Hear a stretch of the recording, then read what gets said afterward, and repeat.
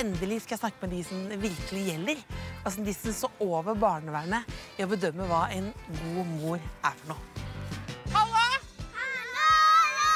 Hei, hei! Hei, hei! Tror du at jeg kunne blitt en god mamma?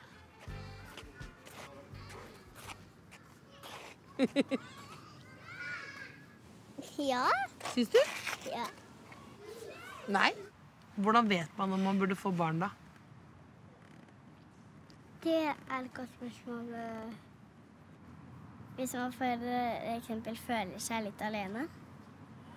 Er hyggelig å ha en barn? Kan man bare ha mamma og ikke ha pappa? Man kan ha bare mamma. Hvordan tror du det er? Ja? Kanskje passe bra? Ja.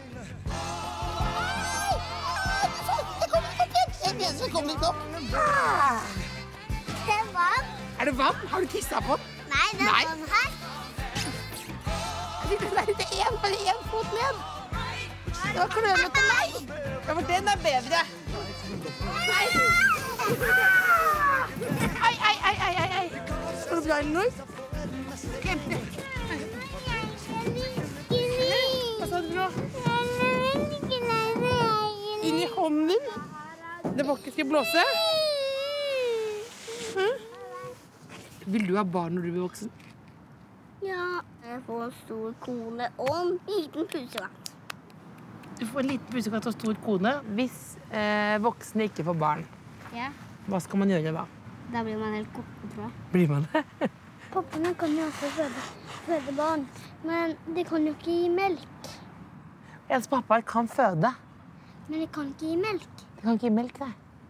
Fordi, da, da, fordi- da kan ikke babyen bli stor. Hva skal du bli når du blir stor, Elinor? Storesøster. Mm? Storesøster. Storesøster. Syns du jeg burde få barn? Ja. Syns du det? Åh. Men hva er det beste med å få barn, da? Lykke, lykke, det. Hva da? Jeg kan ikke snakke sånn når Kan ikke snakke. Du sitter fast. Men eh, hvis noen sitter og tenker hm, Burde jeg få barn? Hva sier du til dem? Eh, Vent litt til du blir litt eldre. Ja. Hvor lenge burde jeg vente? Kanskje tre-fire dager? Vente tre-fire dager, så får jeg bestemme meg? Ja. Ja.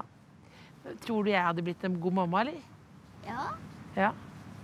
Hvis du har melk i puppene dine, da.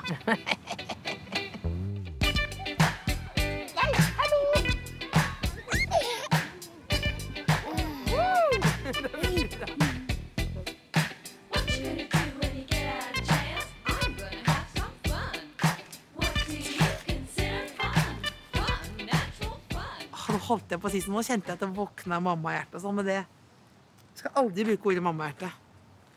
Men det kjente jeg faktisk at det var mammahjerte. Nå brukte jeg det. Men det var, det er jo kjempesøte barn. Ha det bra.